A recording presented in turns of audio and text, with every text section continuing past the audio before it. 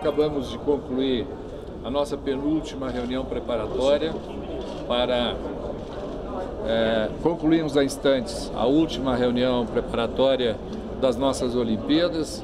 Faltam dez dias hoje. É, hoje foi o dia de não ter mais, não, falta tanto por cento, não falta mais, ou em quantas horas, ou em quantos minutos, ou em quantos dias a, a contar de agora, menos que 10, nós teremos o 100% resolvido. E saímos com a convicção de que nós vamos ter sim 100% resolvido e vamos ter no Brasil sim uma, uns grandes Jogos Olímpicos. Uma das maiores, quiçá a maior festa esportiva já feita no território nacional de todos os tempos. Eu não vou tomar tempo, depois a gente fala. O Dr. Nussmann e o nosso ministro dos Esportes, Nussmann, que representa o Comitê Olímpico Internacional, o ministro dos Esportes, que é o coordenador em nome do governo, eles terão a palavra. Vamos deixar o Nussmann na frente por uma questão de respeito. Sempre gentil, ministro. Muito bem. Prim... deixa eu apenas dar boa noite, é boa tarde.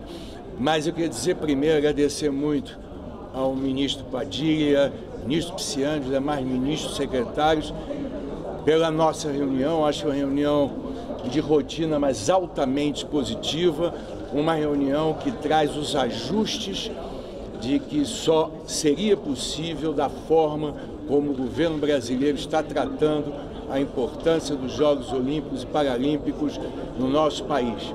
Então, todo o detalhamento em todas as áreas, seja na área de segurança, na área de energia, na área de relações exteriores, na área de fazenda, enfim, não vou nominar todas, mas todas elas estão sendo trabalhadas e foram finalizadas no intuito de nós termos grandes Jogos Olímpicos em nosso país. Presidente Nussmann, é, houve muitas críticas... um pouquinho? É.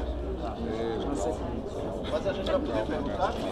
Vamos poder perguntar. Bom, boa tarde, boa tarde a todos. Acho que o presidente Nussmann e o ministro Padilha resumiram é, com perfeição o extrato da, da, da reunião de hoje. Nós podemos hoje, mais do que nunca, firmar a convicção é, de que o Brasil e a cidade do Rio de Janeiro estão absolutamente preparados para iniciar o, os Jogos Olímpicos. É, eventuais ajustes é, estão dentro da, da, previsão, dentro do que acontece normalmente em todas as edições é, dos Jogos Olímpicos e não nos causam nenhuma preocupação extra. Ao contrário, nós saímos aqui confiantes de que teremos no Rio de Janeiro, é, a partir do dia 5 de agosto, é, uma grande edição dos Jogos Olímpicos e a convicção de que podemos terminar as Olimpíadas como a melhor edição dos Jogos Olímpicos até então. Que ajustes, ministro, são esses? O senhor falou? O duas, falou? duas palavras ainda. Ao, na abertura da nossa reunião, transmiti as palavras do presidente Temer para mim hoje pela manhã, quando combinamos como seria a reunião e o que iríamos tratar.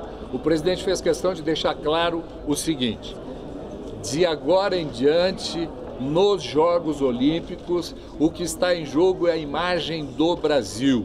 É o Brasil e todos os brasileiros, mais de 205 milhões de brasileiros. Portanto, as responsabilidades que sempre foram compartilhadas e continuarão, mas haverá solidariedade nessa responsabilidade no mais amplo aspecto da solidariedade. Nós vamos estar juntos para a solução de todos os eventuais problemas que surjam, independentemente de quem originariamente tenha sido o competente para tal.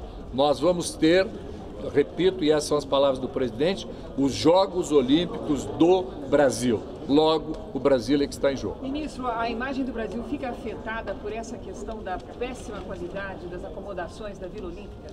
Bom, primeiro, vamos fazer uma distinção. Não se tratam de péssimas qualidades, é, muito ao contrário.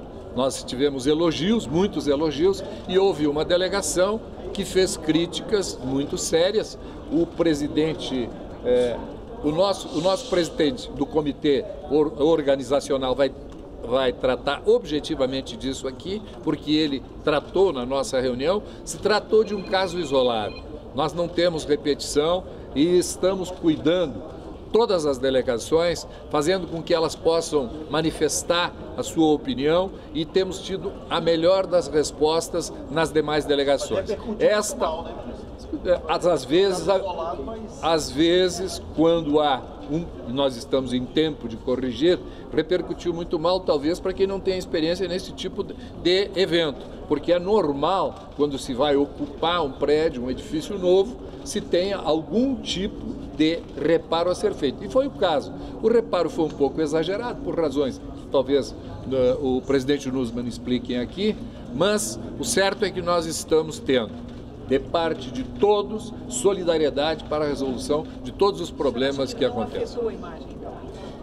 A imagem do Brasil, ela será julgada ao final dos Jogos Olímpicos. Nós estamos numa fase preliminar, Todos aqueles que são conhecedores dos Jogos Olímpicos sabem que nessa fase da reta de chegada dos preparativos encontram-se sim alguns problemas a serem resolvidos, como esses que estão sendo resolvidos agora.